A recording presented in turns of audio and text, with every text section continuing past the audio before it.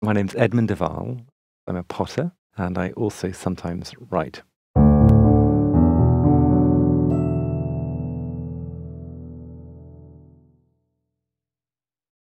I spend my life thinking about white. I mean, I make porcelain for God's sake. I'm trying to work out why people, throughout millennia, why do people not decorate things? It's a very profound choice. This particular ewer is the whitest object. I mean, there's nothing whiter than this object. It was so white when it was made that there was a special term given to this particular white. They called it sweet white ware. This pot was made at the same time that sugar was discovered. When you look at it, it looks so extraordinarily contemporary. It looks like it's something from the 1920s.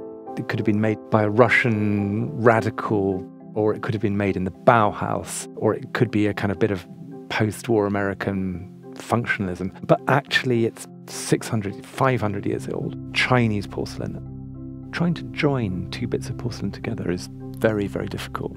I mean, that's the kind of thing that goes wrong all the time with porcelain. This ludicrous, wide, lyrical handle.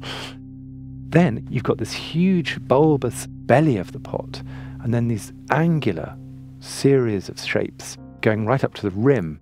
It's called a Tibetan monk's cap ewer. Why would you make a ewer that looked like Tibetan monk's cap? Well, it's a great story. These particular objects were made for the Yongle emperor. He comes to the throne in a sea of blood in order to gain the throne. When he gets the throne, he has this strange relationship with Buddhism in a kind of penitential way. He tries to purify himself by bringing sacred art into the middle of the Chinese court. The ability for white to simultaneously hold mourning, which it absolutely does in Chinese culture. At the same time, it's, it's utterly about erasure. You know, the white page, the sense of space on a scroll, more empty space than you'd ever find in any bit of Western art.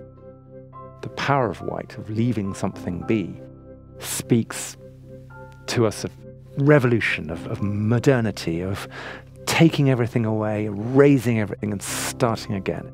And nothing out of all those shapes should be coherent. Exactly the kind of puzzle that's modernist. How can you bring strange things into connection and make them work?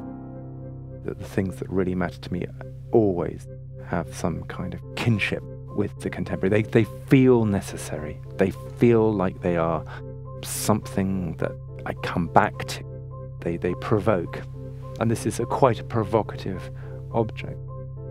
For me, it's profoundly contemporary because I'm trying to work out what making pure objects in this impure world means. You know, that's a really big question for me. What does it mean?